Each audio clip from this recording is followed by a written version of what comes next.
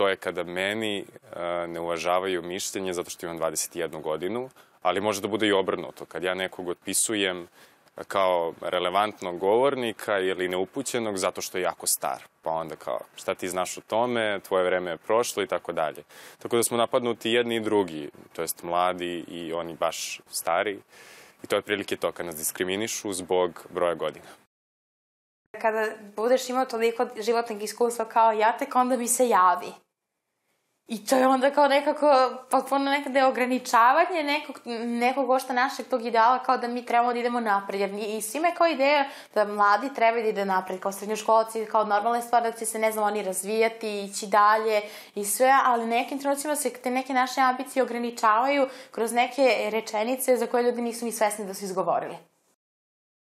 mi uopšte nemamo adekvatan zakonodavni okvir, niti država ima strateški plan na koji način zapravo mladi integrisati, na koji način u sistem, na koji način zapravo obezbediti da oni imaju neko radno iskustvo kada im već prilikom prvog zaposlenja tražimo to radno iskustvo. Tako da u tom smislu imamo jedan potpuni disbalans gde mi zapravo zahtevamo od mladih ljudi da svašta nešto znaju i da imaju radno iskustvo,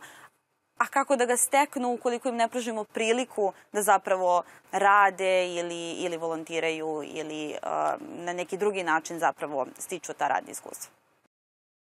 Najveću diskriminaciju mladi doživljavaju najviše na tom nekom polju politike, da kažem političke participacije mladih iz razloga što eto, puna su nam usta non stop mladih, non stop se nešto dešava. Sa druge strane, nevladine organizacije pokušavaju da izguraju tu priču i poprave položaj mladih, međutim i dalje u, u političkim partijama primećujemo jeli, ko je dominantan što se tiče omladine, što se tiče mladih generalno, ali mi je drago što se, e, što se i druge političke partije polako angažuju po pitanju ostvarivanja omladine, otvaranje tih omladinskih klubova, tako da smatram da će to biti kroz nekih, hajde, deseta godina da će se taj problem ili taj trend bar malo, bar malo smiriti.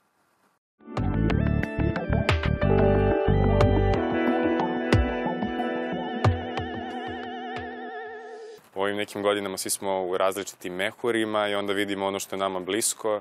i meni je zato blisko kada vidim da nas diskriminišu u bilo kakvoj vrsti učešća u politici, ali ja ne govorim o onoj politici koju ljudi gledaju na televiziji gde se političari pljuju, napadaju, pričaju ko je više ukrao i ko je šta ukrao, nego generalno o različitim nivoima političkog učešća. Zapravo ne doživljavam diskriminaciju zato što sam mlad, posebno u sferi novinarstva. I gde god sam došao, na koji god posao sam došao, uvek su nas svi sačekali onako gostoprimivo potpuno, bez obzira da li imam 23 godine ili imam 50 ili pričam sa ljudima koji, koji imaju 50 godina, ne postoji, ne postoji to, neko, to neko deljenje između svih nas. Posebno na ovom poslu koji, na kom sam trenutno najviše angažovan, u, u Forci mi je nekako ta cijela situacija potpuno opuštena. I ljudi koji rade sa mnom imaju preko 60 godina, a u suštini kad razgovaram sa njima osjećam se kao da pričam sa vršnjacima. Tako da sa njihove tačke gledišta i kroz njihov pristup se može videti da ipak nevladin sektor e, postoji. Naravno da postoji džizam u tim, nekim, u tim nekim oblastima, ali da sam ja naišao na njega i da sam naišao na njega tokom bavljanja novinarstvom, nikad do sada.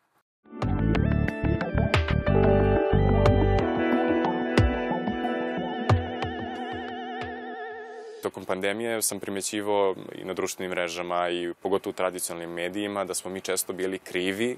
um, za raznorazne žurke, za nove talase, nove pikove novih talasa i tako dalje.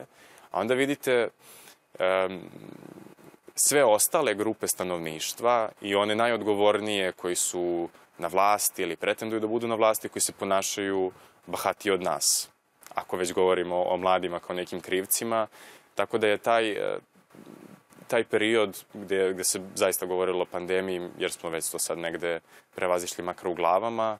bio jako strašno jer sam ja non stop svakog dana viđao kako smo mi krivi za nešto i onda se osjećam loše jer kao pa možda mi stvarno jesmo krivi, a onda i nismo. I onda dovoljno da uđete u, u gradski prevoz vidite da e, isto koliko ne nose maske mladi, ne nose i oni ostali.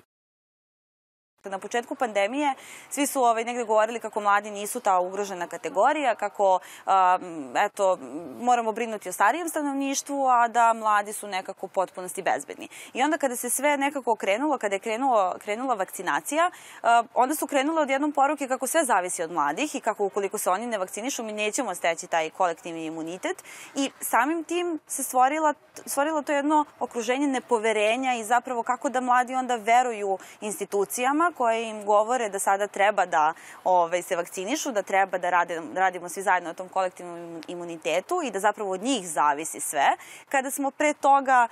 izražavali jedan visok stepen nepoverenja zapravo ka mladima, optuživali ih da su oni krivi, da su oni ti koji su problem i da a, negde a, ne treba fokus da bude na mladima, već dakle na nekim drugim kategorijama.